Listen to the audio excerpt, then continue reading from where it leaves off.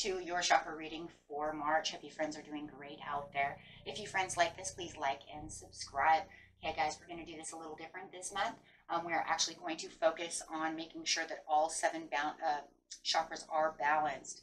Okay, so making sure that the process that's offered through this situation um, can bring in the healing and assist you with opening up these chakras related to any kind of balance that you need within your life, getting your manifestations, getting your healing, um, feeling the joy um, and the comfort, right? Feeling whole again.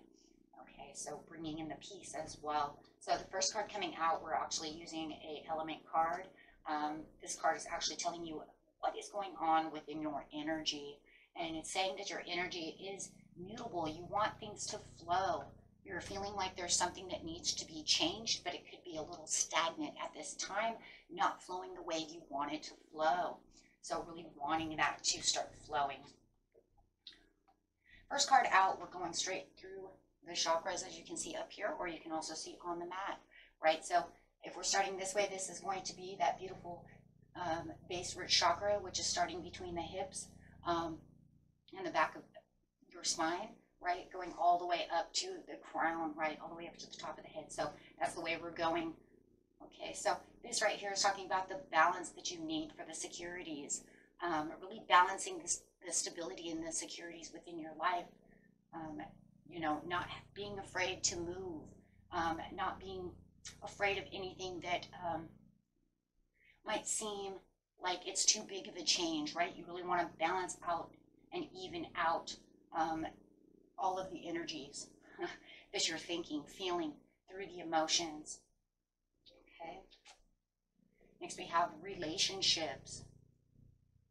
Balancing out those relationships, really talking about those relationships, whether it's relationships that are within the family or your coworkers, within yourself, um, and really bringing those into balance. So Spirit's really talking about balancing the relationships that are going on around you will help you feel that flow really getting going over here.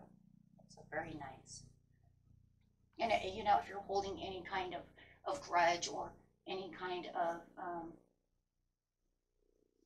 you know, um, just bad energy towards someone, you really need to figure out how to balance that out, right? So that it doesn't keep that um, sacral chakra from not moving.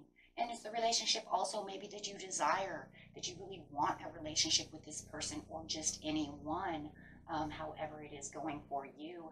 Everyone has their own story. Then we have the personal power coming in with the solar uh, plexus chakra. And this is talking about that intention. And it's talking about really thinking, guys, about what is the intention that you're looking at? What is so important that you really need to put the personal power into the relationship that you want? Like I said, it doesn't matter if it's a relationship with the work you're doing right? Relationships come in many, many forms. It's just how you're um, uniting, right, with either others or whatever the situation may be. But really wanting to bring that to light of that relationship. So, you know, really think about that though, right? Really think about that. What is on your mind? Using that personal power. How do you want that process to go? What is supporting the situation? What is challenging the situation? And then bringing in that inner strength, you know, to really sharpen the focus, you know, of what kind of, you know, things drain you, what kind of things, you know, empower you, things of this nature. This will actually help you. And it'll also help block people from draining your energy, whether it's family um, or friends or anything of this nature as well. So really think about those things. Okay, so that's actually very empowering. okay, so the next card coming out is love. I'm going to go way over here because we do have seven cards. so we have the love over here. This is the heart sh uh, chakra coming out saying, remember the love. Love and compassion is what makes the world go round. So if you don't love yourself, you know, it's going to make a very big situation go bad. And it's not, you know, so make sure that that heart chakra is open. And think about the things that you do love and that you passionately want within your life. Um, you know, make the right the right barriers, not the wrong barriers. right? Make the, the right kind of blockages from people who bring in bad energy to making sure that the, you know, that the right people are not being blocked as well. Okay, so really going after passionately what you want. That actually helps. Now this is the middle. I would love to just put it here, right, right in the middle, right, and then set the other three down, guys, really, because um, I think it's this right here, you know, is the center of all the chakras. Once the heart chakra is open, everything just starts boom, boom, boom, boom, really moving, really, really nice over here, like a well-oiled uh, oiled machine. Um, but it's not going to work because you won't be able to see the cards. so, uh, but the life purpose over here is now we're talking about this throat chakra. You're talking about this life purpose and how you can get the relationship going towards this, having this flow the way you really want to flow. Now you really have to think what is the life purpose within everything that I am doing? Bringing all these together as its own affirmation, really bringing in all these questions, really thinking about what it is that I really want, keeping everything really balanced for yourself. This will bring in the clarity, and the understanding of the situation. Now I'm kind of putting them underneath here because the clarity is really going to come, right? the balance and the life purpose is really going to be here together, right underneath this area. And then once we bring in the third eye, it's going to say yes because the third eye is constantly thinking about what it is that your desire and the intention really is. So you're going to become more clear about the desire and the intention, the relationships with the personal power, right? And really giving that personal power to the intention of what it is you want. So it's very, very important that it actually sits this way. See, it's already coming together. That's why the love couldn't be here. That's why the, you know, because it's really saying this is the way it's really working. Because in actuality, then the crown is going to open and it's going to, because of the love heart chakra, and because the way you're communicating the life purpose and the things that you really want, it's really going to go from here and shoot all the way over here into the overall understanding and unity of not just yourself, but what your higher self wants as well. And really completing that and bringing those together. Because as soon as you get passionate and compassionate with your heart, then all the understanding is really going to go boom, right? Because now you have the clarity and the understanding. And then the heart says, yeah, because I want it this way. And then your higher self says, oh, yeah, I got that. I totally understand. It makes sense. And this is how they're all balanced. Now, see, now you're balanced. Strangely, right? To you, you'd be like, how? How does that make you? Because it brings in the peace. It brings in the peace, and the peace is through understanding. Understanding is through peace. Because then you're not harboring all the negative. As soon as you become clear about the situation, things start going away. Once you bring the love in, the negative starts going away because of the positive coming through through the heart chakra. Right? Then you can get down to, you know, you're communicating to yourself, saying this is what the overall life purpose is. This is the overall understanding and communicating that, using that creativity, really using that as also an understanding tool. It's also a lot of your, excuse me, some of your um, analytical thinking will also come into play as well because the more you start communicating it, the more it's going to make the mind go, right? So then you're going to say, oh, okay, so this is like kind of your own monkey mind over here, just kind of, you know, a little computer. And then it starts opening up the higher self, going, oh, yeah, I get that. Light bulb. Higher intuition pops in. Oh, yeah, I got that. Okay, so, and this is where you become very calm. Because once that higher understanding and everything starts coming through and the clarity, and the love starts coming through, you're going to radiate at a higher vibration. And then everything's going to become very clear about how you're going to get through the situation, how you're going to get to the intention, how you're going to make things happen. You're not going to feel stuck. Now you can actually move. And you'll feel now like that water is making that movement. And now you're going to feel like you're going with the flow instead of against it, right? Or feeling like you're just stagnant and not moving.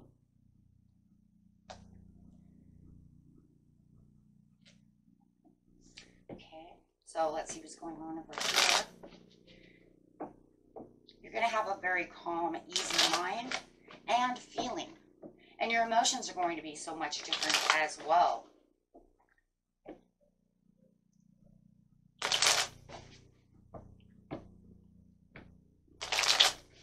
Bringing that powerful three of yourself into um, one.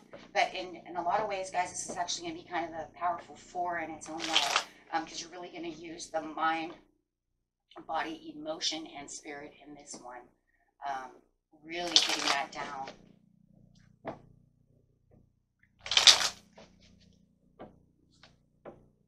Yep, because there's there's things that everybody in the world wants, and we want that chariot to really start moving and getting activated, right? We don't want the chariot to just sit over there in the sky, you know, and just do whatever it's going to do. This energy that's just kind of, you know, kind of buzzing around, but maybe it doesn't feel like it's buzzing around me.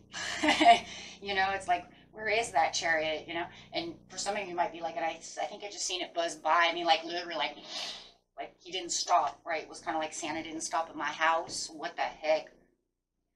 Just buzzed right by. I didn't even get coal or nothing. You know what I mean? Like I didn't get nothing.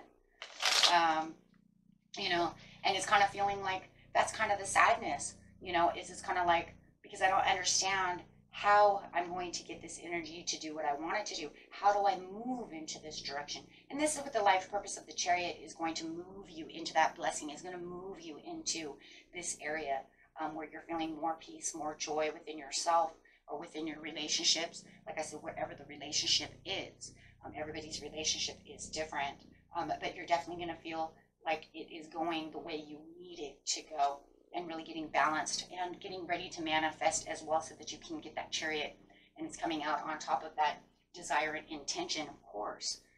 Right, so now I can feel like my prayers are answered. I can feel like the magic is happening, um, manifesting law and attraction, however, prayers, right? However you want to see it, I'm winning. Many people see it as different ways. Um, but however it is, it's really taking that action and seeing the action come back, um, right? So it's going to be kind of like we're talking about the water energy over here. Now it's going to feel more like the water went, you know, out to the ocean and then came back into the ocean, you know back and forth, back and forth. And you feel like that's, you know, you feel, and that's more of a balance. Instead of just sitting on some stagnant pond um, that has a bunch of mosquitoes and uh, dragonflies living in it, right? Maybe a frog here and there. um, but you're actually going to feel that flow, the naturalness. And that's where the action is being taken place. So receding water to get more water back. That's what the natural flow is. Um, yes, and it's going to allow you to now open up to patient, patiently plan what it is you need to plan, really opening you up to the understanding also that the seeds that you plant will ripen. But remember, friends, the better seeds you plant, the better fruit you get. So, if you're only planting, you know, Maybe the seed's too dry. Maybe the seed's too small. Maybe the seed's too withered.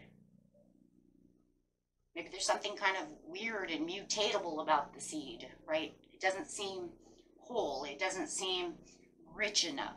Maybe even the soil you put the seed in isn't rich enough either. But better yet, always say that the richer the soil, the better the seed, the better the reward. Um, you by doing that is by using that personal power and really opening up that heart chakra. And like I said, the more clarity and understanding you have, the better you plant those seeds. Life purpose says that with the action comes the reward. It's the law of attraction. The law of attraction cannot be changed. It's unchangeable can't change it. I can't change it. It is what it is. That's why it's called the law. It's the law of the universe. So therefore, when you're going after the life purpose that you're doing, you want to make sure that you are planting the best seeds in the best rich soil. The rich soil that you put it in is up to you um, on how positive it is. Remember, even if you law and attract negative, you get negative back.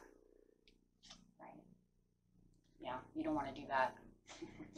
Five of Cups, thank you. yeah, don't want to do that. Don't do that. We don't need sadness. No, what you want is to be recognized for the hard work, the good energy, all the things that you're planting, so that way you can get the powerful three back within yourself. um, you know, and really putting that out there into the universe of what it is you really want and really keeping these chakras balanced. The more balanced you are, the better you feel, the higher frequencies you're, you're going after and you're attaining. Being generous to yourself. Let's not forget about that. Now, that's coming underneath the crown chakra and the heart chakra. Why? Because the generosity yourself is the self love that you attain making sure you do have the self love and the compassion, not only to others, but unto yourself. Um, the problem with a lot of people is we want to give it to everybody else and we forgot to, we forget to feed ourselves. Maybe that's what this is too. Don't forget to plant the seeds to yourself, my friends. You know, we give all the love and the compassion everywhere else. Just remember those who live passionately teach us how to love, and those who love passionately teach us how to live. If we don't remember these things, then we're not giving back to ourselves. We always have to make sure that we do give back to ourselves. We're very important, just as everybody else. Okay? And these things will help you, right, stay balanced. So, getting a moon card over here. I don't think I need this card. I put that out, but I don't think it's needed, my friends.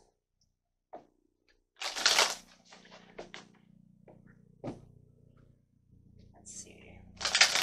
I was thinking about giving you a daily healing card, but I did do them already within the mid month and the beginning of the month, so maybe we just won't do that. Give you too many healing cards, you won't know which one to go on, right? Okay.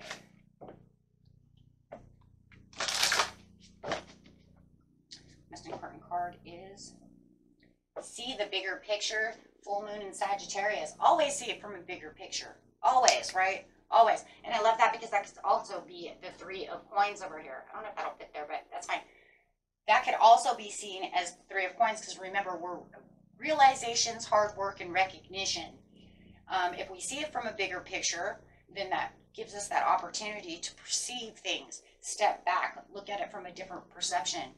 Um, because maybe that was one of the, you know, problems to begin with is you know with within the clarity we can always see things from a different perse- uh, perspective right and maybe even dealing with relationships around you maybe you need to look at it from their perspective as well so maybe you need to step back kind of get into their shoes a little bit and see what the heck they're looking at right?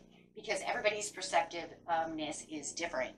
Um, the way people see things people's opinions because um, hindsight is only 2020 everybody uses their brain a little different. So if you are having some kind of relationship issue with someone, maybe you want to write that down, what they're trying to talk about, and then see maybe what the issue is, and then kind of see it from the clear side of what they're seeing it from. And then you can make observations of how to clear that situation um, by kind of seeing it their way.